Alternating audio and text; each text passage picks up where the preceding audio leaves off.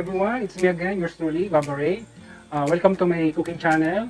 Uh, another recipe now. I would like to share to you uh, a Filipino recipe. Our very own the spicy bopis.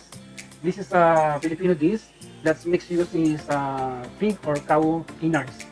It's eaten as appetizer or pulutan in the Philippines. While you're drinking, this is appetizer. It called is a. Or uh, you can use as a main dish. Okay, but unfortunately, uh, being OFW, uh, living outside the country, uh, can limit my ability to cook uh, Filipino dish recipe because of the ingredients of uh, availability issues. However, things should uh, not prevent us from the making our favorite dishes. Let's uh, keep in our mind that there's uh, alternative uh, ingredients. Uh, we can also omit some ingredients and still come up with a similar version of our Filipino uh, recipe. This recipe makes a good appetizer of pulutan as I said and some people in our place uh, would like to add more chilies to become hot this dish. But if you don't want uh, hot, lessen the chili or don't include depending on your heat uh, tolerance. So you make this dish as a main dish along with the steamed rice can get your uh, appetite going. But reminder, if you had a gout or arthritis, consume a minimal amount only. Okay? Happy eating everyone. Okay, as I said, I will show you the main ingredients of this uh, spicy wopis. We need the cow lungs, lungs of the cow, uh, inner of the cow. This uh, we need to, I buy 1 kilo but I need to clean in the, with the salt generously and rinse with the cold water. Also, we need this uh, beef stripe, also I clean with the salt and a little bit of uh, vinegar to remove the unnecessary bad odors. Also, I use the cow liver after that, I will show you how to cook this uh, uh, cow innards. but we need the ingredients for sauteing. We need the ginger, garlic, uh, onions. Also, we need the vegetable, uh, red bell pepper, uh, carrots, radish or daikon, call it for the Korean. Also for the flavoring, we need the bay leaves, red chili, dry chili, this is the dry chili. Also, we need the tomato paste, anato powder, black pepper, vinegar, and cooking oil for the sauteing our recipe today. And also, we need a, a little bit salt for tasting. Okay, let's move on in our kitchen. Okay, we are now to clean our, to cook our innards. First, put the lungs in the in the pot. Rinse with the cold water.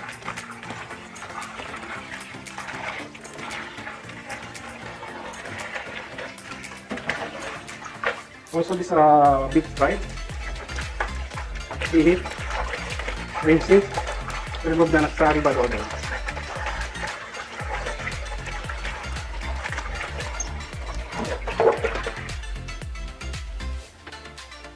Then put water.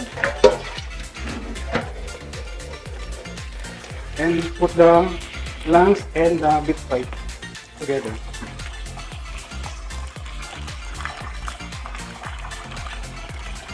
Then put some ginger like this. Crush it the ginger. Cut, cut, and crush it. Like.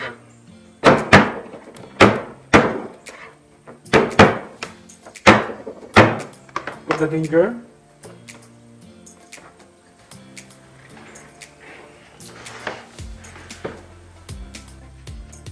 Bay leaves, salt, and soak the water. Okay? Then after that, we have to put the pine. Cover it, and we have to boil it. Maybe around uh, 40 to 50 minutes until the lungs and the baby side tender becomes tender.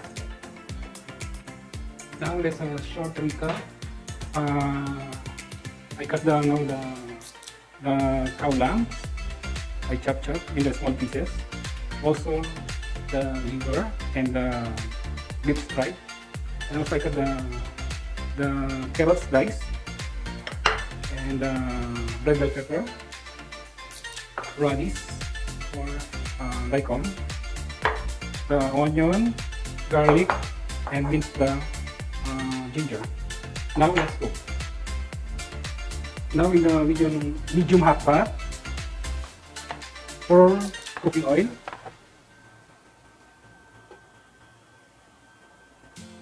About uh, 3 to table 3 to 4 tablespoons. Then wait uh, to be hot the pot. Then put first the minced ginger.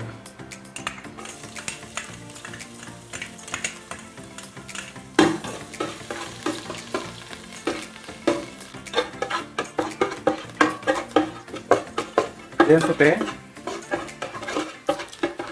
Next, garlic. Chopped garlic.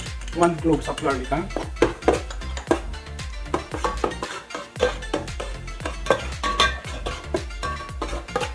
Wait until medium golden brown or the aroma uh, already infused and you already smell. Next, onion.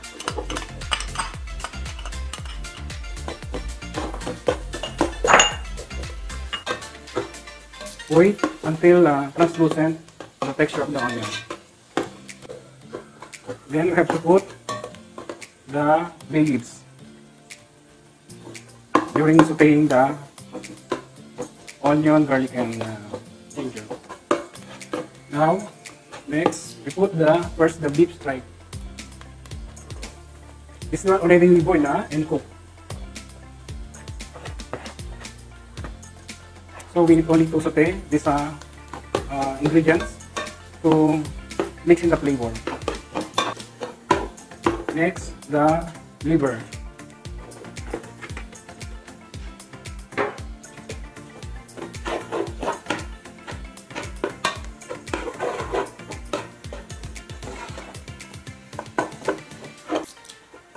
After the liver, we have to put the lungs.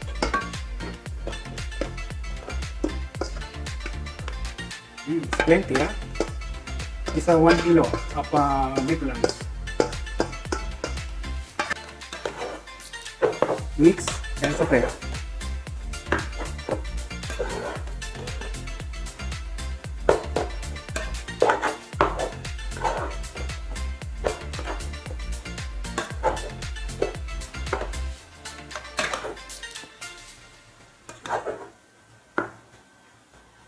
Then, put some uh, black pepper.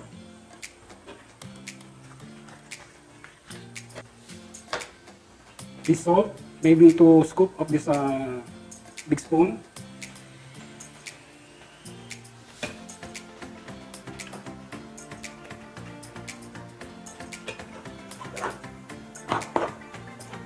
Then, saute.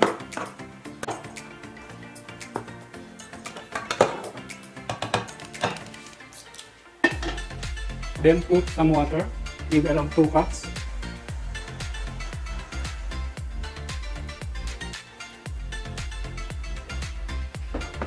Mix it.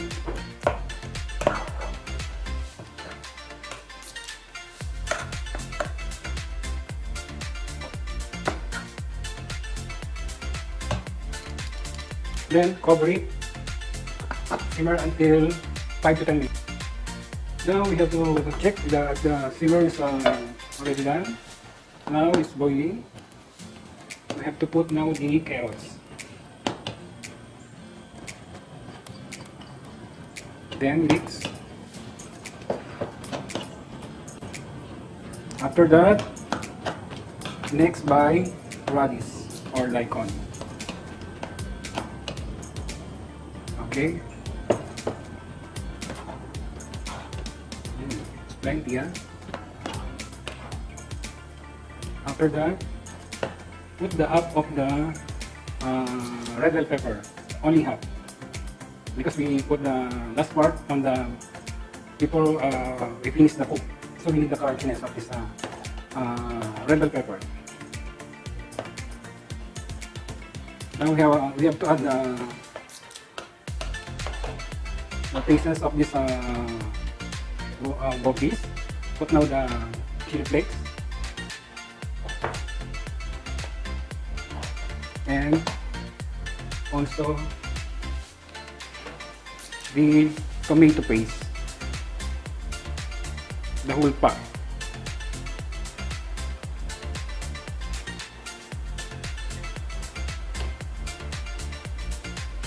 Then mix.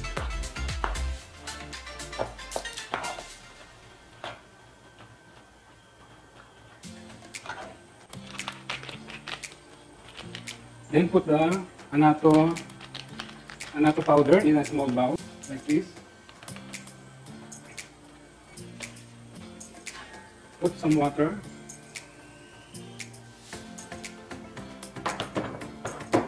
Dissolve it.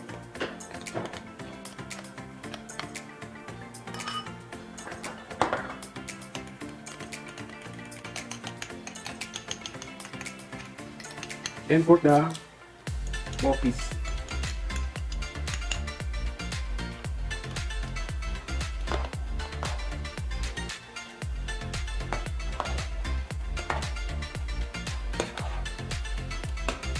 Now it's already color uh, red orange. Then add some more some uh, black pepper.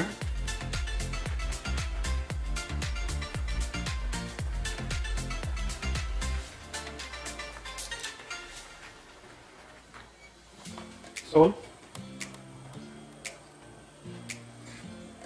And a little bit more of uh, sauce.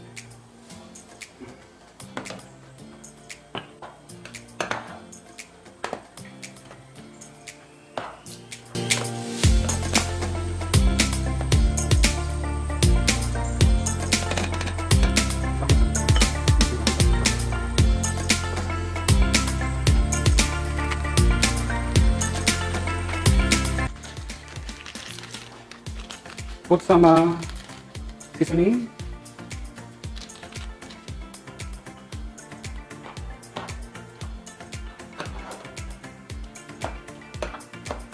Maybe we need uh, add more water because it's the water already dissolved. Evaporate. I think more salt. And have to put all this uh, and now put the maybe the vinegar. Maybe two cups of like this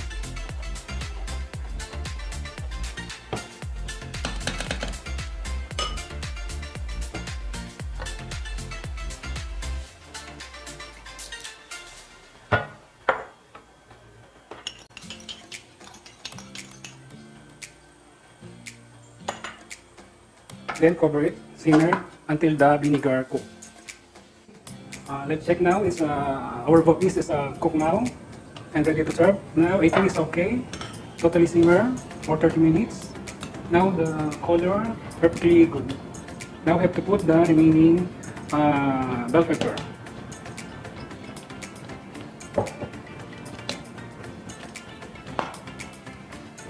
Okay, then mix. This ready to serve now. Okay. Sit for one minute, then close it. Now okay, we have to prepare now for the our table. Now our spicy ball piece is ready now. Now we have to try and taste if it's uh, good or not. It's for you guys. Mm. Smells good, very sour. Now we have to taste.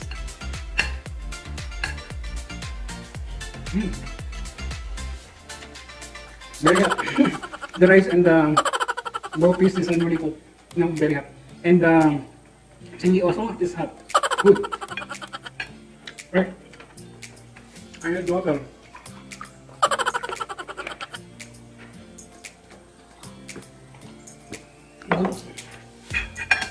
Try again. It's for you guys. Mm. Good. Now try this recipe. it's very good. Okay, but just a few reminders. This year you don't have a gout and arthritis because this one is um, uh, too much cholesterol and not good with the gout and arthritis. uh, just eat in moderation. Okay? And don't forget to visit my channel, Cooking with Baba Ray. And click the subscribe and bell button to notify you my new videos. And don't forget to share to your friends and post in your Facebook account. Like and share. Thank you very much. See you at the next uh, recipe. Again, this is your Ray. Eat. Thank you. That's it. Mm.